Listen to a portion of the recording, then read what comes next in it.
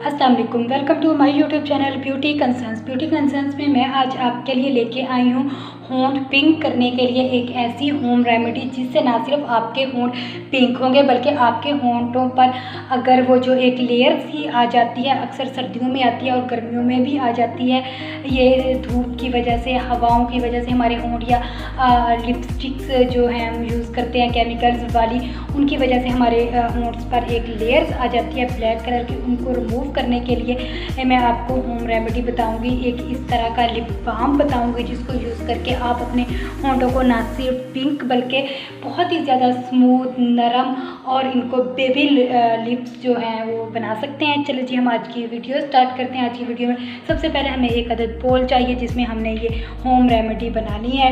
इसमें इस्तेमाल करते हैं। सबसे पहले हमें एक कोई सी भी वैजलिन चाहिए, जो भी आप घर में वैजलिन यूज़ करते होंगे, आपके घर में या कोई वैजलिन अवेलेबल हो, वो आपने वैजलिन ले लेनी है। थोड़ी सी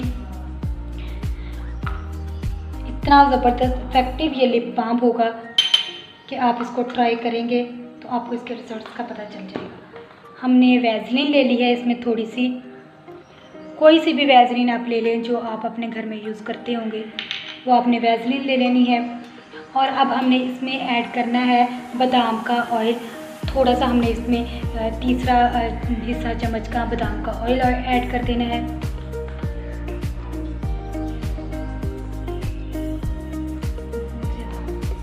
ये हमने बादाम का ऑयल इसमें ऐड कर दिया। अब हमने इसमें ऐड करना है ग्लैसरीन आपने ग्लैसरीन लेनी है। तकरीबन आधा चम्मच आपने ग्लैसरीन ले लेनी है। दो तीन कतरे ड्रॉप आपने ग्लैसरीन के इसमें ऐड कर देने हैं। और अब आपने स्किन शाइनर जो बाज़ार से मार्केट से मिल जाता है दो ढाई सौ में, आपने आधा चम्मच स्किन शाइनर का लेना है। तकरीबन इतना। स्किन शाइनर हमने अब इसमें ऐड कर दिया। अब जो सबसे स्पेशली चीज़ जो मैं इसमें ऐड कर रही हूँ, वो है, हमने चुकंदर होती है, उसका रस निकाल के रखा हुआ है। आप चुकंदर का पाउडर भी ले सकते हैं, लेकिन आप चुकंदर का रस भी ले सकते हैं। जो भी आपको सूट करता हो, आप वो ले लें। मैंने इसमें चुकंदर का रस ऐड कर दिया है इतना। अब इन सब चीज़ों को हमने मिक्स कर लेना है।